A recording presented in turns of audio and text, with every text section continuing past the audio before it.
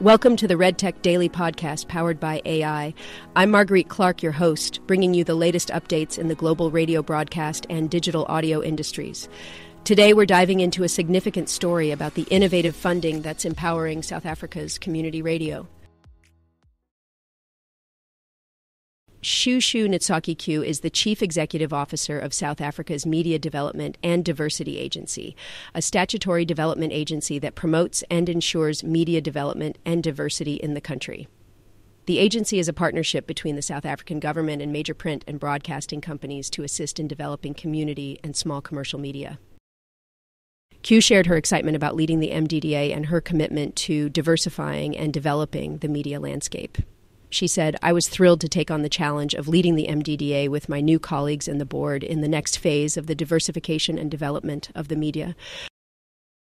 MDDA board chair Professor Hlengani Mathebula expressed confidence in Qhu's leadership, citing her extensive experience in the media industry and her deep understanding of digital media, marketing, brand management, and community media. He said that these qualities made her the top candidate for the role when she was selected in January of this year. Researching and innovating new digital funding models to ensure the sustainability of community radio is at the top of Qhu's agenda. She also aims to rebuild relationships with private sector partners and strengthen trust in the MDDA's brand. In an interview with John Masuku, Qhu explained how the MDDA supports community radio development in South Africa.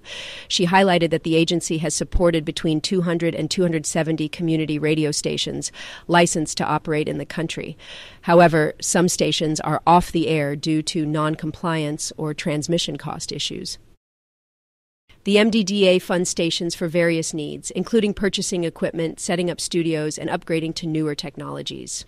With the frequent power cuts in South Africa, some stations also apply for generators and solar power equipment. Additionally, the MDDA funds workshops for news content development, technical training, governance, and accredited training. The support provided by the MDDA is often dictated by the needs outlined in the station's applications. A significant portion of the funding goes towards transmission fees, particularly for stations that self distribute or use Sentech, the South African Broadcasting Corporation's signal distribution company.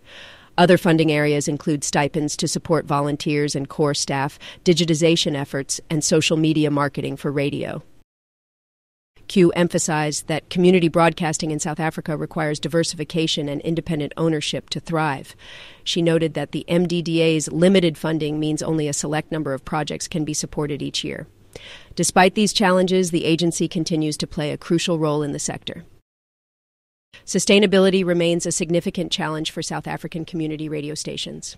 According to Qhu, the sector is heavily dependent on MDDA funding, and there's a need to develop a sustainable model. She mentioned that advertising budgets have shrunk, and there has been a shift towards digital advertising, making it essential to equip the sector with the necessary skills to professionalize and drive growth.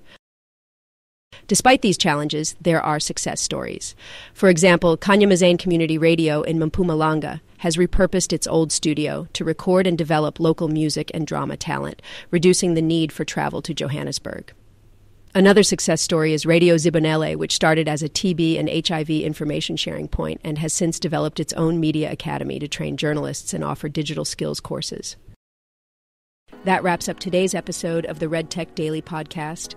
For more insights and to read the full articles, be sure to visit our website at redtech.pro. I'm Marguerite Clark, and I'll catch you in the next episode.